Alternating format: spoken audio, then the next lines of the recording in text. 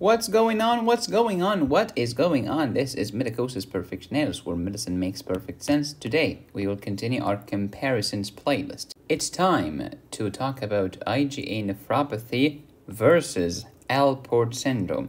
IgA nephropathy is not just a nephropathy, it's a very big umbrella that's called IgA disease. The patient might have problems in the kidney, hence IgA nephropathy. The patient might have purpura on the skin, hence the association with Henoch-Schönlein purpura. The patient might cough up blood, hemoptysis, because of IgA antibodies in my lungs. But Alport syndrome is a genetic disease where my type 4 collagen gets destroyed. As you know, type 4 is in the floor, it's in the basement membrane, basement membrane of my glomeruli basement membrane in my inner ear, in my lens, etc. Mostly this is X-linked recessive, which means mostly gonna affect boys. Clinically, it's a triad of nephritic syndrome, sensory neural hearing loss, and ocular abnormalities, which are most likely to be cataract or anterior lenticonus, or both. This is my comparisons playlist. It is dear to my heart because a good doctor is the one who understands distinctions. Otherwise, you will keep wandering around the field trying to find the fiends. Today will be a very quick comparison. If you want the original discussion, check out my 5 minute review playlist or my nephrology playlist. Let's start by talking about Alport syndrome and we'll talk about IgA nephropathy, then we'll compare between the two. When I see the word Alport, I just say L4. Why 4? Because collagen type 4 is destroyed. Alport syndrome is a nephritic syndrome, which means my kidney is losing blood in the urine.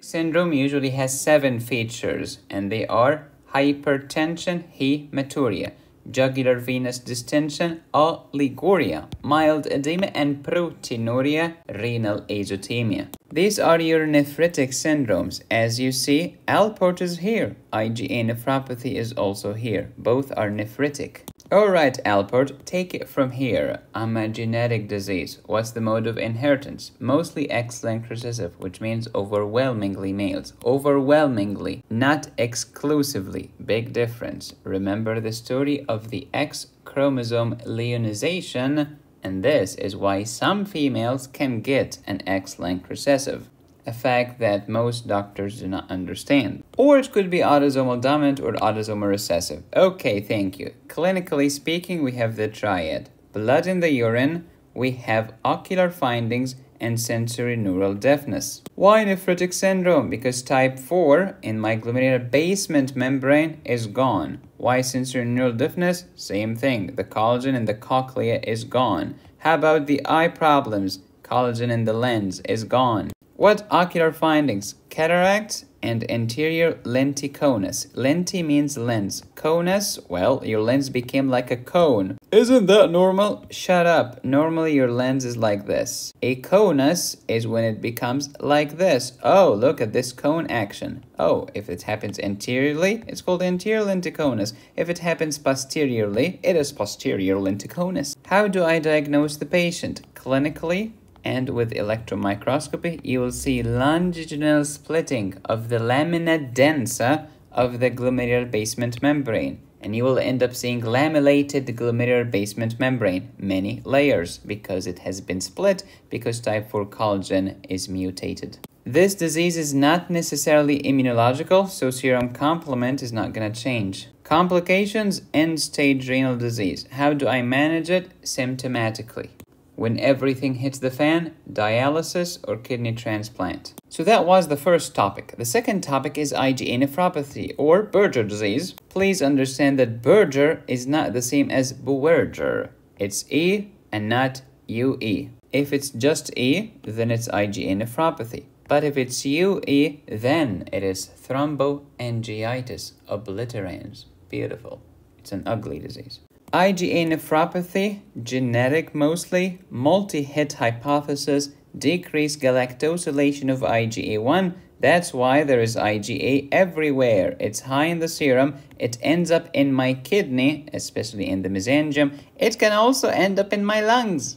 That's why a better name than IgA nephropathy is IgA disease, because many organs can be affected by the stupid IgA. The classic scenario is a young patient, usually young adult, who developed upper respiratory tract infection. And in the same day, or at least one to two days later, there is blood in the urine. Since the pharyngitis and the hematuria are very closely related, chronologically speaking, we can call this disease synpharyngitic macroscopic hematuria.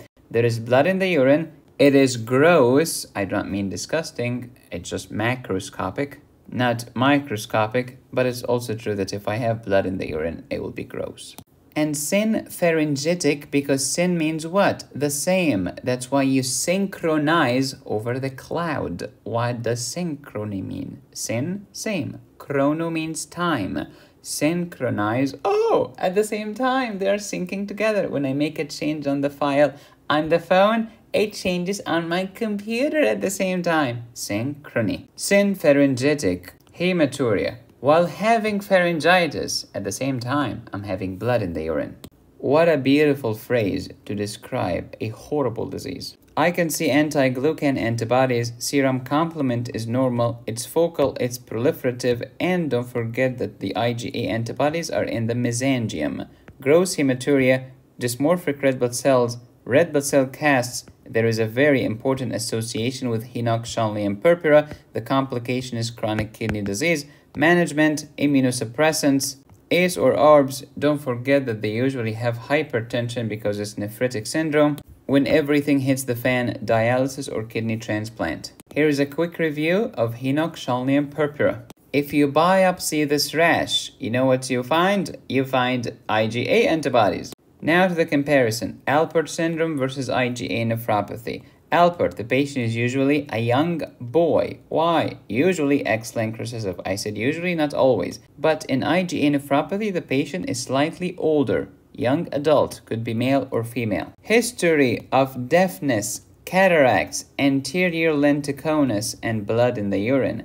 IgA nephropathy, history of upper respiratory tract infection, and quickly followed by blood in the urine. Could be quickly followed by or could be simultaneous with. Don't forget the association with Henoch-Schönlein purpura.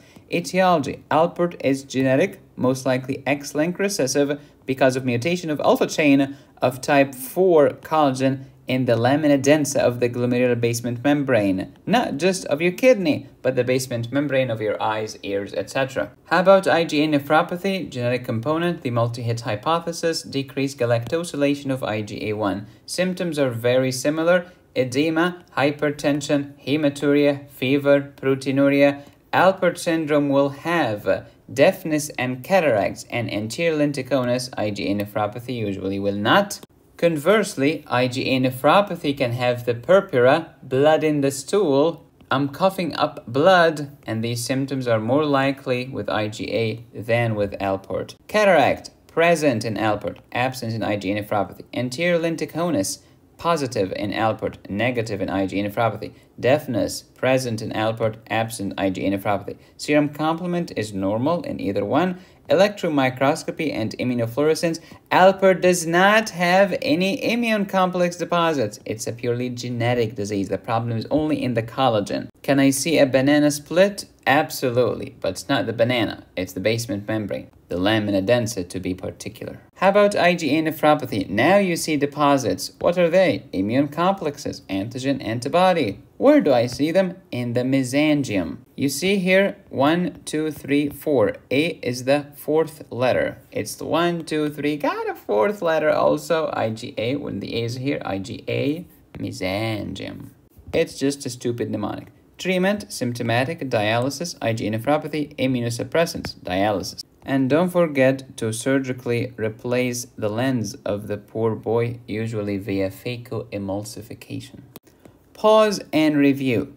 If you like this video, you shall adore my antibiotics course at medicosisperfectionalis.com. We'll teach you about antibacterials, antifungals, antivirals, and antiparasitic medications. It comes with questions cases and answers, my Perfect Perfectionalis Ultimate Notebook, which by the way you should print and keep it for you forever. It's going to help you tremendously in your career, and a lovely mind map to make sense of all of this nonsense. I also have a renal physiology course on my website. Thank you for watching. Please subscribe, hit the bell, and click on the join button. You can support me here or here. Go to my website to download my courses. Be safe, stay happy, study hard. This is Medicosis Perfectionalis, where medicine makes perfect sense.